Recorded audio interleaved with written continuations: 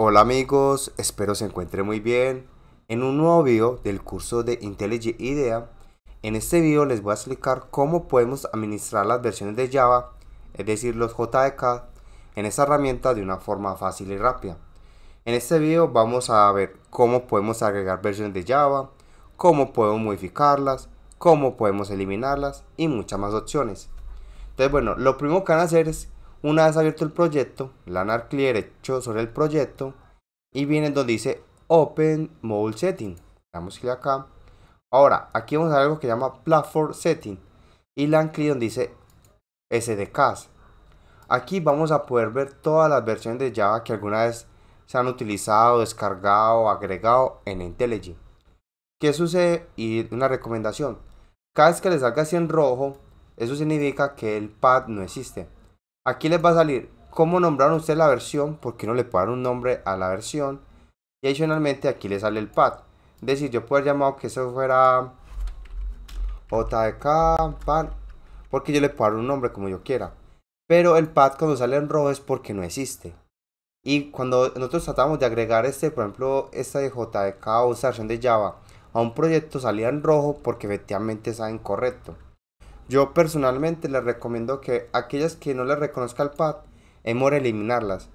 mejor luego agregarlas y ya. Porque uno ponerse a, a intentar buscar nuevamente un pad es más bien complicado. en este caso, por ejemplo, esta que me sale en rojo, más decía que era 1.8 y salía que, salía que la versión era la 17, entonces estaba mal configurada.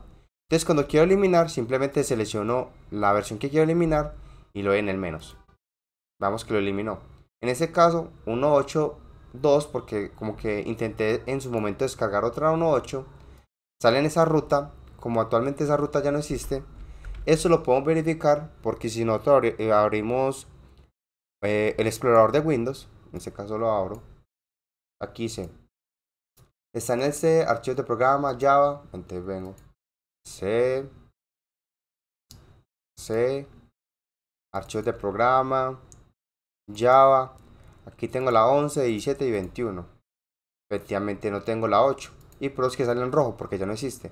Entonces también lo va a quitar. Esta 11, al ver que sí está correctamente, vemos que él reconoce todas sus librerías. Al igual que la 17, en este caso la 17 tampoco la reconoce. Porque vemos que aquí se llama JDK17 así solo. Y acá le ha puesto como con otro, con especificación. Esta tampoco funciona, así que la voy a eliminar. Esta también va que ya no está tal cual, la voy a eliminar. Y esta que sí existe, la voy a quitar este 3 para que sepa, para yo saber que es la JK17. La 21 vemos que también funciona. Y aquí ya vemos otras versiones que son las que uno puede descargar directamente desde IntelliJ. Que es lo que vamos a hacer eh, enseguida.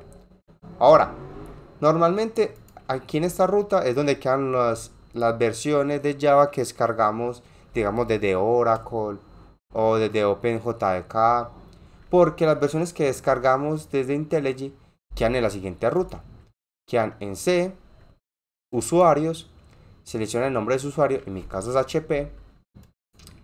Aquí buscan el punto JDK, punto JDK, y aquí podemos ver las versiones que tengo instaladas o que he instalado desde IntelliJ para Java. Entonces aquí sale que tengo la 21 de Decoreto y, Temurin. Temurin, perdón. Aquí efectivamente ya lo tengo correcto 1.8, no la tengo, por eso es que sale en rojito, la voy a quitar. Esta sí existe, esta tampoco existe. Y vemos que en ese momento de esta manera he dejado las versiones que actualmente tengo configuradas en mi equipo y que funcionan. Inicialmente lo hará aplicar para que le aplique esos cambios. Ahora, ya hemos visto cómo buscarlas, cómo editarlas. Y ahora, ¿qué vamos a hacer? Vamos a agregar. Si queremos agregar alguna versión de Java, lo que podemos hacer es que le damos aquí donde está el más. Aquí le decimos donde dice Download JDK. Añadir JDK es para buscarla manualmente. Este es para, buscar, eh, es para descargar una versión de para Android. Y este es el para descargar el JDK. Le damos aquí donde dice Download JDK Aquí podemos escoger la versión que nosotros queramos. De Java 1.8, la 11, 17, 20, 21, la que quieran. En este caso, voy a poner ejemplo, yo tengo, la 21. Yo tengo la 21, la 17, la 11. Digamos, yo no tengo la, yo no tengo la 8, por ejemplo. Te voy a descargar la 1.8. Aquí me salen los diferentes distribuidores. Lo puedo descargar de Amazon Coreto, de Eclipse Temurin, de Oracle. Vemos que tengo diferentes opciones para descargarlo. En ese caso lo quiero descargar de Oracle OpenJDK. Y como les decía, el por defecto lo deja en esta ruta, que es la que les mostraba acá. que la misma ruta. Obviamente se la pueden cambiar, pero no se lo recomiendo. Les recomiendo que lo dejen en esta ruta, para que así pueden diferenciar las versiones de Java que han sido descargadas desde IntelliJ a las versiones de Java que han sido descargadas desde otros eh, distribuidores como Oracle, mejor dicho, que han descargado ustedes manualmente, han instalado. Porque estas versiones así no salen en el panel de control. Esas versiones para eliminarlas toca desde el IntelliJ o meterse a esta carpetica y eliminarlas. Ya que, por ejemplo, veamos que tengo actualmente Coreto 21 y Temurin 21, ¿cierto? Y voy a agregar la 1.8 de Oracle. Ay, perdón. Ah, bueno, de Amazon Coreto. Aquí me está equivocando. Y lo a dejar en esta ruta. Lo a dar download. Él va a, empezar el proceso de descarga e instalación. Lo va a dejar en esta ruta y actualmente lo va a dejar con este nombre, ¿cierto?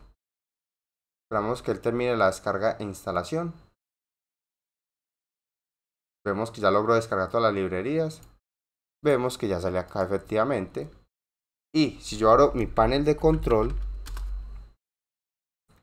aquí necesitan un programa, va a ordenar alfabéticamente.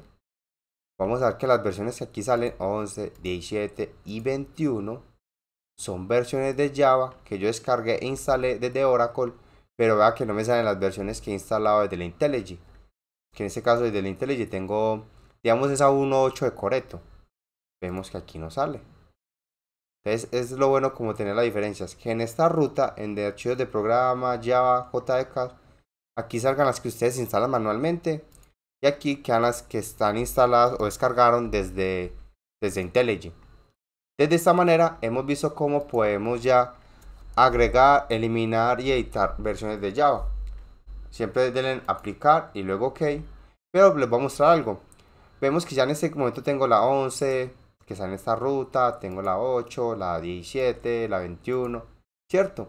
Ahora cuando yo ya puedo, ya puedo hacer uso de estas versiones, si yo vengo aquí a Project, a SDK, vamos a ver que aquí ya salen las diferentes versiones, la 11, 17, 21, 1.8, 21, 21. Adicionalmente sale de qué distribuidor. Entonces así hemos visto cómo podemos empezar a jugar con el tema de las versiones. De agregar versiones de Java de, al IntelliJ, sea que la queramos agregar manualmente desde, nuestro, desde nuestra máquina o recomendadamente si utilizan IntelliJ, más bien la agregan desde el IntelliJ y se ahorran todo ese tema. Y bueno, eso es todo por este video, espero les sirva mucho. Los invito a darle like al video, compartirlo, suscribirse. Recordarles de que todos los días subo contenido. Se ha enviado algún curso, un error de programación, bases de datos, sonar, entre muchos más. También los invito a seguir en mis redes sociales.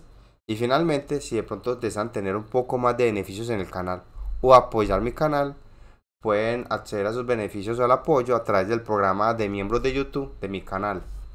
Y bueno, no siendo más, hasta una próxima.